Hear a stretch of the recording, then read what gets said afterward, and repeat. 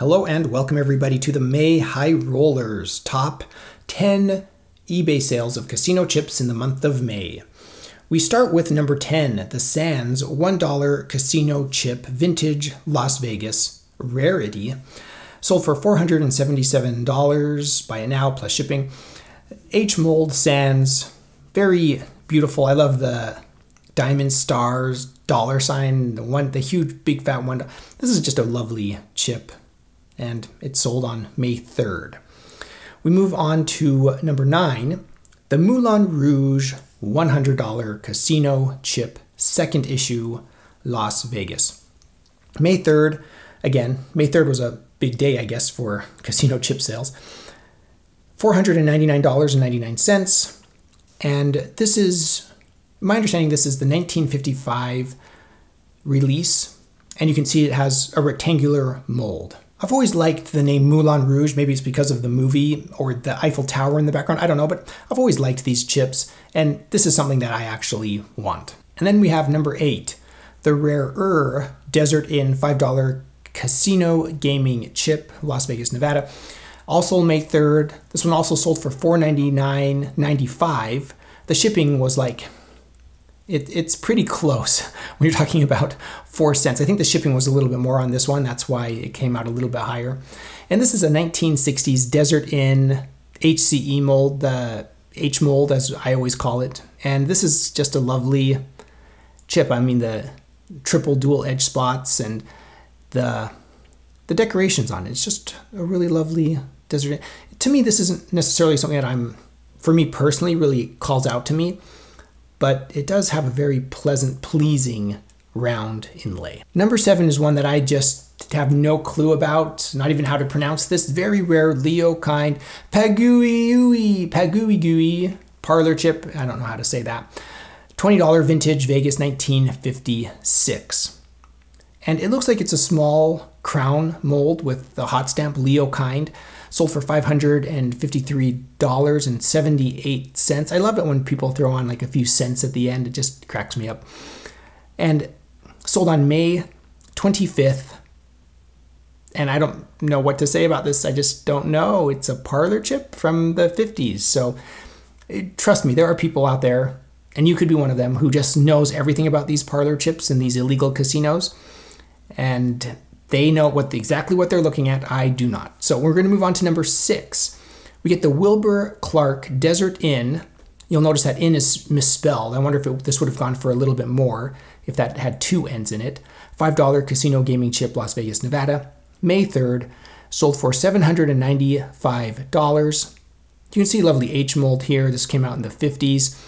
And I find it interesting that there are certain casinos where you get a face on like I'm I know nowadays like I love my like Britney Spears and Shania Twain chips, but Wilbur Clark, it's just great to see the faces of people on chips even in the 50s. Number five, we have the Aladdin $5 Las Vegas casino chip, Milton Prell's, 1966, first issue, very rare, sold on May 14th for $750. This was the best offer because the listing was asking 1000 but they accepted the offer of 750 I people ask every time I talk about the offers. You can see those on 130 point.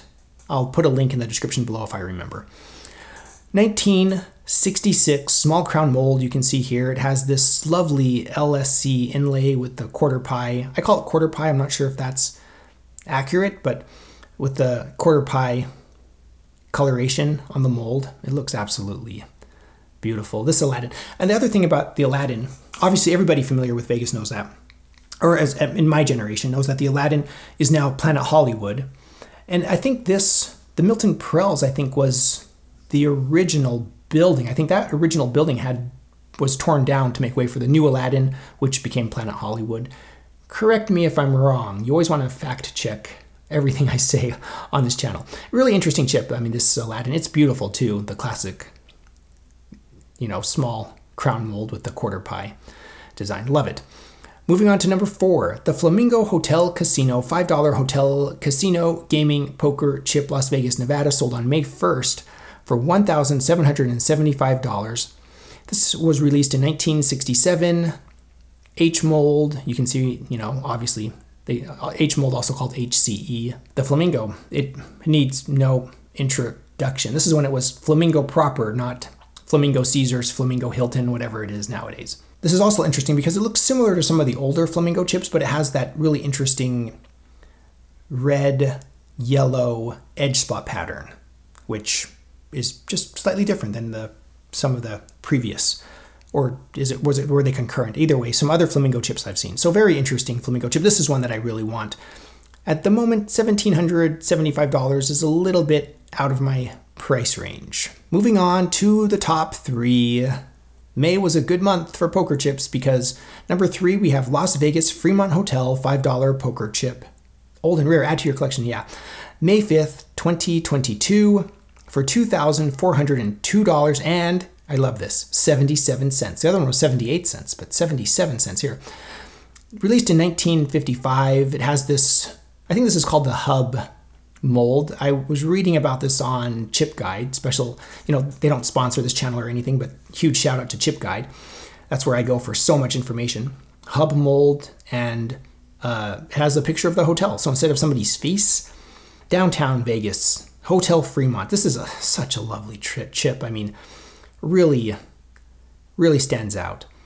And when you're talking about mid 50s, like 1955, this is a chip I really like. Uh, and it's probably not in my top 10 of chips I don't have that I want, but it's in the top 50 for sure. Then we move on to something a little bit more recent. We have a 1990 MGM Marina Hotel, $25 first edition casino chip, Las Vegas, Nevada. I think it was the only edition because the MGM Marina was originally the Marina Hotel, but then they bought that property and they built the MGM Grand on it, and they left the Marina Hotel there because it was really structurally sound, is my understanding. I think I was reading about this on Wikipedia. And so they just built around it, and now it's part of the MGM Grand, and then they renamed it obviously when the MGM Grand was completed. So very short-lived MGM Marina Hotel, $25 chip sold on May 31st, 2022 for $3,200. They were asking 3,500, but they accepted the best offer of 3,200. My understanding is that the purchase of the property took place in 89 or I think it might have been finalized in 1990 and they that's when they you know changed the name to MGM that's when they made these chips and so we have just a lovely THC mold and it's a really interesting I mean to, to me this chip is really historically interesting even though it is a more of a modern chip I can see how it could command a premium just because the Marina name was so short lived. And we have a record breaker. This, I think this is a record for this channel since I've been doing this since last fall. We have a new highest high roller ever. Number one, Sahara. $5 casino chip, third issue, 1950s. Las Vegas, May 30th. This sold for $16,499.99. I wonder if this transaction is going to go through. Seeing a price like that is really impressive. I mean, this is a hard chip to find. I just don't see a lot of these kicking around. 1950s picture of a hotel. You know, obviously this is you know the era where they have pictures of the hotel on there. Small key mold, the yellow. It's just a lovely, I mean, absolutely lovely chip. Very desirable. Something I would like. Again, I don't have the funds to drop 17, almost 17,000, $6,499.99 for one casino chip. But that's an absolutely lovely chip. Have we had a chip that sold for more than that on this channel? I'm not sure we have. I need to go back and watch all my old videos. Well, that's it for today. Special thanks to Poker Chip Forum for all your support. Special thanks to Chip Guide for all the information that's available. And special thanks to my patrons. Thank you so much for your support. It really means a lot to me. It keeps me motivated. And it's good to know that I have some people supporting me. And it's just general support on Patreon. I message back and forth with the patrons, and I post a few behind the scenes pictures and videos. As usual, thank you so much for watching. And if you enjoyed this content, please subscribe.